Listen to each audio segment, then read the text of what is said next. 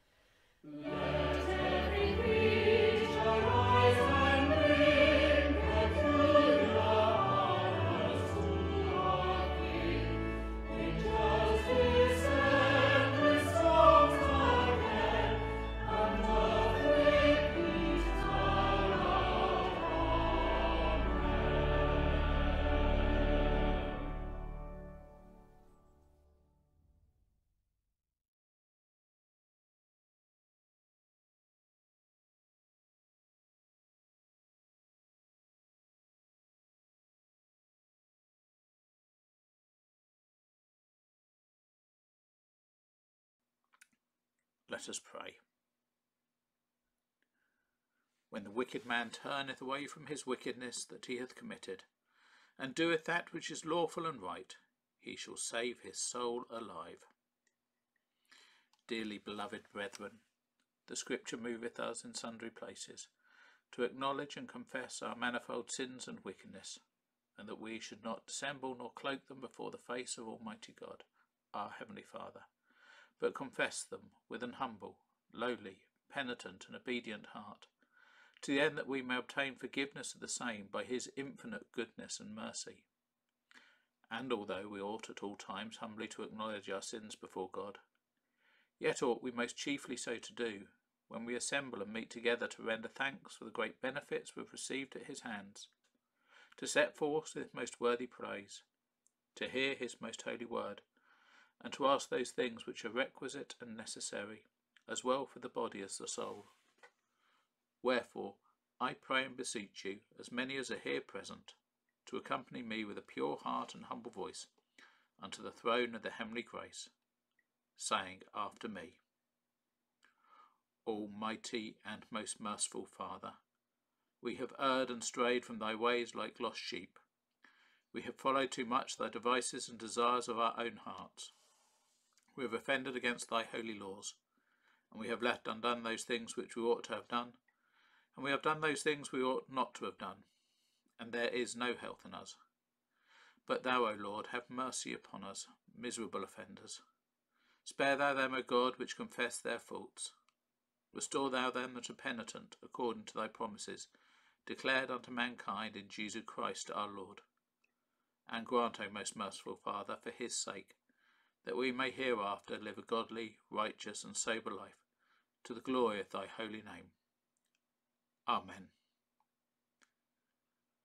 Almighty God, the Father of our Lord Jesus Christ, who desireth not the death of a sinner, but rather he may turn from his wickedness and live, and hath given power and commandment to his ministers to declare and pronounce to his people being penitent the absolution and remission of their sins. He pardoneth and absolveth all them that do truly repent and unfeignedly believe his holy gospel. Wherefore let us beseech him to grant us true repentance, and his Holy Spirit, that those things may please him which we do at this present, and that the rest of our life hereafter may be pure and holy, so that at last we may come to his eternal joy, through Jesus Christ our Lord. Amen. O Lord, open thou our lips, and our mouth shall show forth thy praise. O God, make speed to save us. O Lord, make haste to help us. Glory be to the Father, and to the Son, and to the Holy Ghost, as it was in the beginning, is now, and ever shall be, world without end. Amen. Praise ye the Lord. The Lord's name be praised. The appointed psalm for the Feast of the Conversion of St. Paul is Psalm 67. God be gracious unto us and bless us, and make his face to shine upon us, that your way may be known upon earth, your saving power among all nations. Let the peoples praise you, O God. Let all the peoples praise you. O let the nations rejoice and be glad. For you will judge the peoples righteously and govern the nations upon earth. Let the peoples praise you, O God. Let all the peoples praise you. Then shall the earth bring forth her increase. And God, our own God, will bless us. God will bless us. And all the ends of the earth shall fear him. Glory to the Father and to the Son and to the Holy Spirit, as it was in the beginning, is now, and shall be forever. Amen.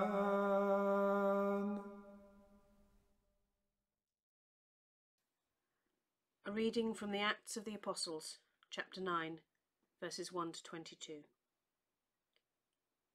Meanwhile, Saul, still breathing threats and murder against the disciples of the Lord, went to the high priest and asked him for letters to the synagogues at Damascus, so that if he found any who belonged to the way, men or women, he might bring them bound to Jerusalem.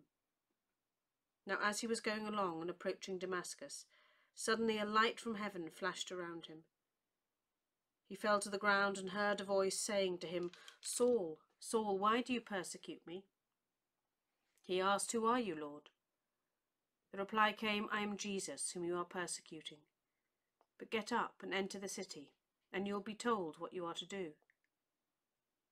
The men who were travelling with him stood speechless, because they heard the voice, but saw no one. Saul got up from the ground, and though his eyes were open, he could see nothing. So they led him by the hand and brought him into Damascus. For three days he was without sight, and neither ate nor drank. Now there was a disciple in Damascus named Ananias. The Lord said to him in a vision, Ananias. He answered, Here I am, Lord. The Lord said to him, Get up and go to the street called Straight, and at the house of Judas look for a man of Tarsus named Saul. At this moment he is praying and he has seen in a vision a man named Ananias come in and lay his hands on him, so that he might regain his sight. But Ananias answered, Lord, I've heard from many about this man, how much evil he has done to your saints in Jerusalem. And here he has authority from the chief priests to bind all who invoke your name. But the Lord said to him, Go, for he is an instrument whom I have chosen to bring my name before Gentiles and kings and before the people of Israel. I myself will show him how much he must suffer for the sake of my name. So Ananias went and entered the house. He laid his hands on Saul and said, Brother Saul, the Lord Jesus, who appeared to you on your way here, has sent me, so that you may regain your sight and be filled with the Holy Spirit. And immediately something like scales fell from his eyes, and his sight was restored. Then he got up and was baptized, and after taking some food, he regained his strength. For several days he was with the disciples in Damascus, and immediately he began to proclaim Jesus in the synagogue, saying, He is the Son of God. All who heard him were amazed and said, Is not this the man who made havoc in Jerusalem among those who invoke this name? And has he not come here for the purpose of bringing them bound before the chief priests? Saul became increasingly more powerful and confounded the Jews who lived in Damascus by proving that Jesus was the Messiah. My soul doth magnify the Lord, and my spirit hath rejoiced in God my Saviour, for he hath regarded the lowliness of his handmaiden. Behold, from henceforth all generations shall call me blessed. For he that is mighty hath magnified me, and holy is his name and his mercy is on them that fear him throughout all generations. He hath showed strength with his arm, and hath scattered the proud in the imagination of their hearts. He hath put down the mighty from their seat, and hath exalted the humble and meek. He hath filled the hungry with good things, and the rich he hath sent empty away. He, remembering his mercy, hath holpen his servant Israel, as he promised to our forefathers, Abraham and his seed for ever. Glory be to the Father, and to the Son, and to the Holy Ghost, as it was in the beginning, is now, and ever shall be, world without end. Amen. A reading from St Matthew's Gospel, chapter 19, beginning at verse 27. Then Peter said in reply, Look, we've left everything and followed you. What then will we have? Jesus said to them, Truly I tell you, at the renewal of all things, when the Son of Man is seated on the throne of his glory. You who have followed me will also sit on twelve thrones, judging the twelve tribes of Israel. And everyone who has left houses, or brothers, or sisters, or father, or mother, or children, or fields for my name's sake, will receive a hundredfold, and will inherit eternal life. But many who are first will be last, and the last will be first. Lord, now lettest thou thy servant depart in peace, according to thy word. For mine eyes have seen thy salvation, which thou hast prepared in the sight of all the people, to be a light to lighten the Gentiles, and to be the glory of thy people Israel. Glory be to the Father, and to the Son, and to the Holy Ghost, as it was in the beginning, is now, and ever shall be, world without end. Amen. I believe in God the Father, maker of heaven and earth, and in Jesus Christ, his only Son, our Lord, who was conceived by the Holy Ghost, born of the Virgin Mary, suffered under Pontius Pilate, was crucified, dead, and buried. He descended into hell. The third day he rose again from the dead. He ascended into heaven, and sitteth on the right hand of God the Father Almighty. From thence he shall come to judge the quick and the dead. I believe in the Holy Ghost, the Holy Catholic Church, the communion of saints, the forgiveness of sins, the resurrection of the body, and the life everlasting. Amen. The Lord be with you, and with thy spirit. Let us pray. Lord, have mercy upon us. Christ, have mercy upon us. Lord, have mercy upon us. Our Father, which art in heaven, hallowed be thy name. Thy kingdom come, thy will be done in earth as it is in heaven. Give us this day our daily bread, and forgive us our trespasses, as we forgive them that trespass against us, and lead us not into temptation, but deliver us from evil. Amen. O Lord, show thy mercy upon us, and grant us thy salvation. O Lord, save the Queen, and mercifully hear us when we call upon thee. Endue thy ministers with righteousness, and make thy chosen people joyful. O Lord, save thy people, and bless thine inheritance. Give peace in our time, O Lord, because there is none other that fighteth for us, but only thou, O God. O God, make clean our hearts within us, and take not thy Holy Spirit from us.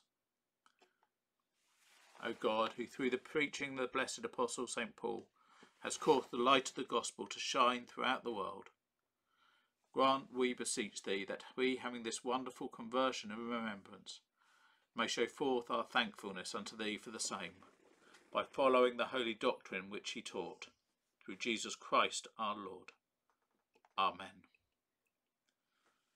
O God, from whom all holy desires, all good counsel, and all just works to proceed, give unto that that both our hearts may be set to obey thy commandments, and also that by thee we, are being defended from the fear of our enemies, may pass our time in rest and quietness, through the merits of Jesus Christ our Saviour.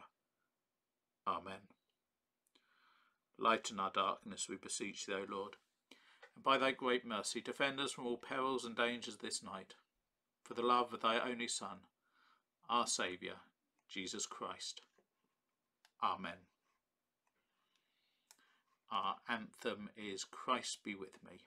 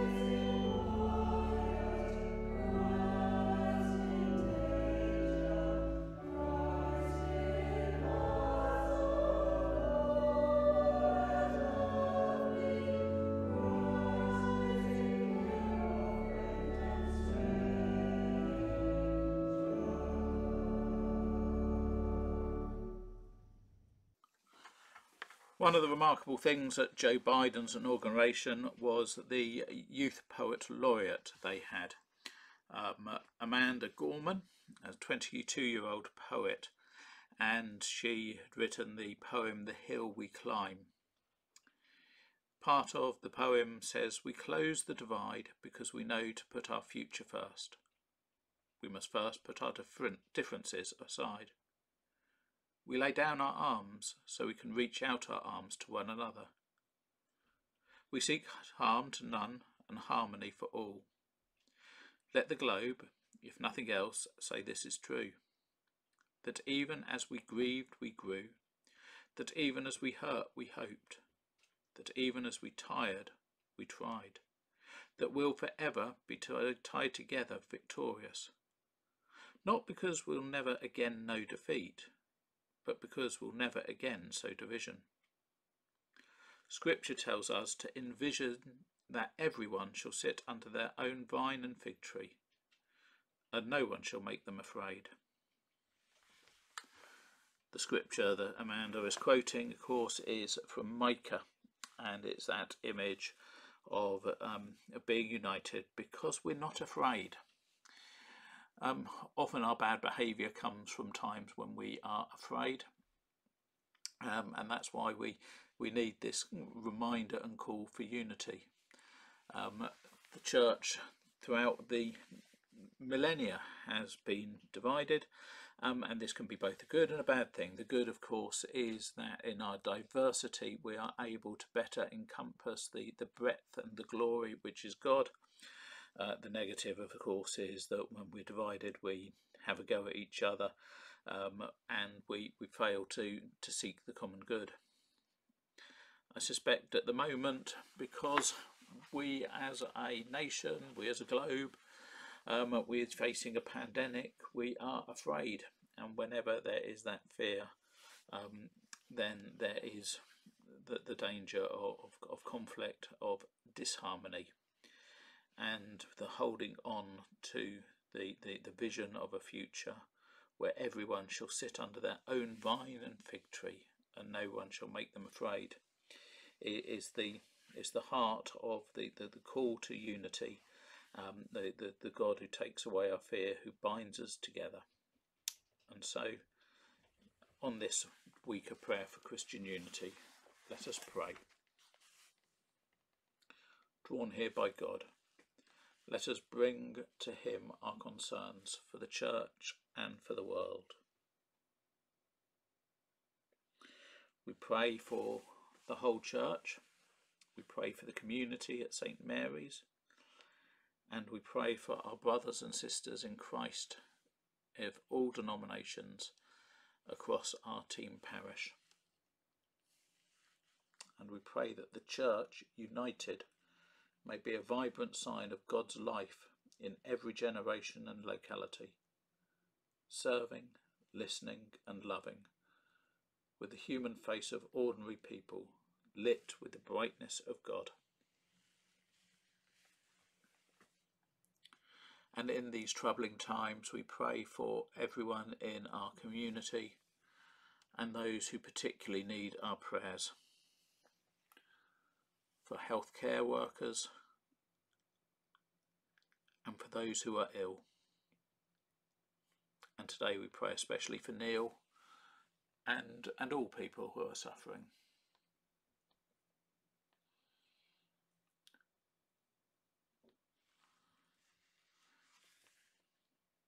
We pray too that all who are searching for God may realise his closeness to them. We pray for those with a sense of vocation for those who would like to know God more.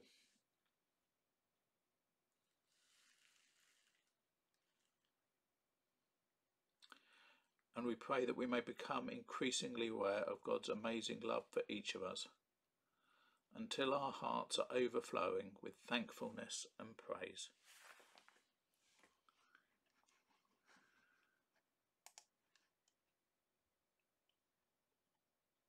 The grace of our Lord Jesus Christ, the love of God, and the fellowship of the Holy Ghost be with us all evermore. Amen.